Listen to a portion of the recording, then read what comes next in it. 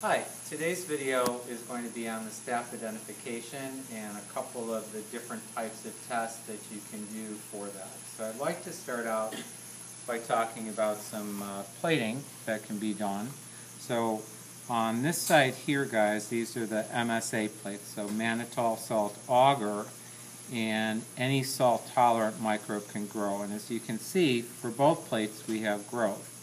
However, this plate with Staph aureus on it turned yellow, and that's because the mannitol that's in here has been fermented, acid's been produced, and it lowered the pH so that that turns yellow.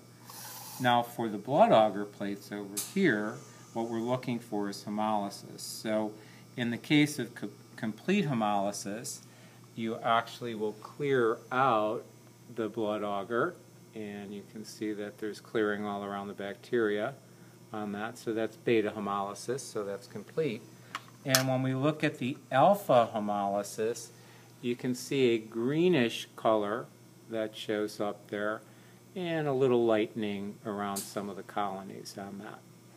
So the next uh, test that can be done is to look for an enzyme called gelatinase, which will break down gelatin.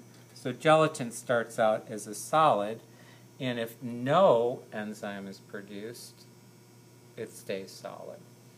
If gelatinase is produced, however, it breaks down the gelatin, and you can clearly see that that's liquefied at this point.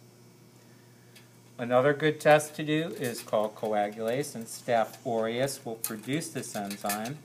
And what coagulase will do is it will actually clump blood.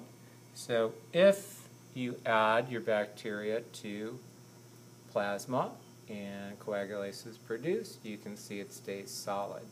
However, if it does not produce coagulase, you will see that it turns liquid. The last test that we're going to do is the bead agglutination test. Now, with this particular test, it's specific, the one that we have, to Staph aureus, and basically, all we have to do is mix up our beads, add a drop to the reaction card, and then we're going to take some of the, I'll add a little bit more we have a bubble. Then take some of the bacteria and add it to the beads and mix it up.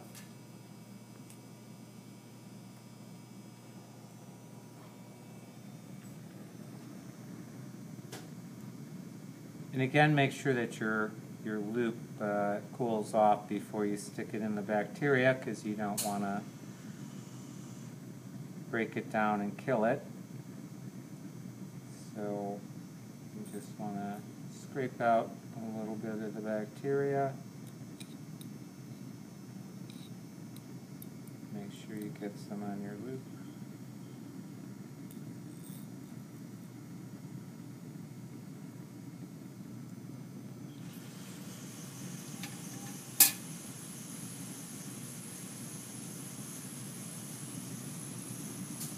So as we go around here, we want to resuspend the bacteria. It looks like we got a little bit of agar there, so I'm going to push that off to the side.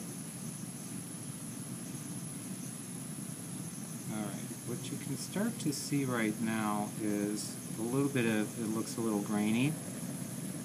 And I'm just going to pick this up and rock it back and forth as we rock it back and forth, I think you can clearly see those uh, whitish clumps that are starting there, so that's the agglutination. So that's what your positive bead agglutination looks like.